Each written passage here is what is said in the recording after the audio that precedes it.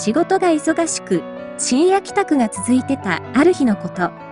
終電一本前で帰ってきたんだが、最終まで激混みで、人通りもそこそこある路線だし、駅から徒歩5分。何事もなく住んで数年だったんで、特に警戒もせず、ボケっと歩いてた。ところが、自分の家まであと数軒ってあたりまで来たところで、いきなり後ろから何者かに抱きつかれ、ガツッと口を塞がれた。街灯の明かりで、相手が大きなナイフらしきものを持ってるのも見えた。痴漢。物取り。と脳内大パニックしつつ。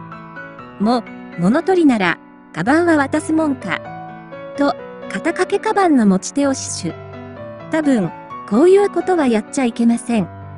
が、一向にカバンを持っていこうとする気配はなく、口を塞がれたまま、力ずくで、どこかへ連れて行こうとするように、ずるずると後ろの方に引きずられた。どこ行く気だよ。その辺に、女連れ込める空き地はねえぞ。と思いつつ、とにかく連れて行かれちゃたまらんので、うう、うう、しか言えない。と声を出そうとしながら抵抗して、足を踏ん張ってた。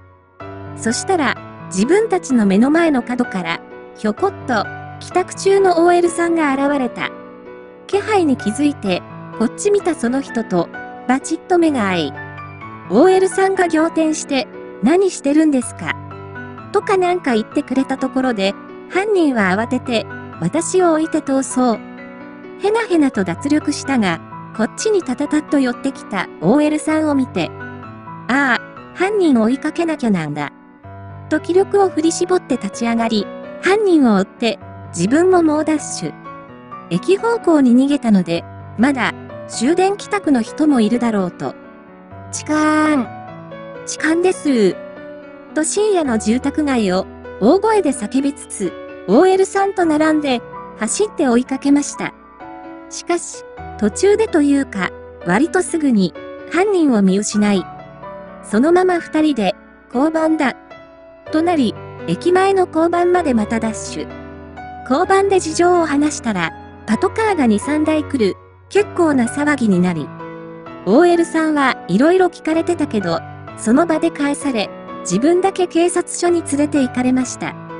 事情聴取されてるうちに、怖さがどんどん出てきて、手がプルプル震えたりして、とにかく、OL さんに迷惑かけて、申し訳ない気持ちと、ろくにお礼も言ってないと思って、刑事さんに連絡先を聞いたら、教えてくれました。個人情報なんちゃらは、全然うるさくない。すごい前のことで、今なら無理だよね。で、朝の3時くらいに帰宅。その日のうちにデパートに行って、適当な品物を見繕って、命の恩人です。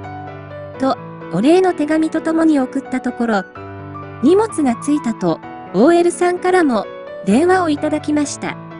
それで話してて判明したのは、OL さんには犯人を追いかけるつもりなんか、毛頭なかったということ。私に駆け寄ってくれたのを、犯人を追うんだ。と私が勘違いして、追いかけ始めたので、そ、そうか、追うのか。と一緒に走ってくれたそうで、恥ずかしいやら、犯人が逆上してたらと思うと、申し訳ないやらで、ものすごい謝りまくりました。犯人については、その後一切、警察から連絡なし。本当に、奴は何がしたかったんだろうと、時々思い出す。その OL さんとは、それきりでした。交番でもバタバタしてたし、動転してたせいか、実はその当時でも、もう一度会っても気づかないだろう。というくらい、顔とか全然覚えてないんですよね。生活圏も、行動時間帯も似ていたのだから。多分、すれ違ったりしてたんじゃないかと思うのですが、本当に申し訳ないことです。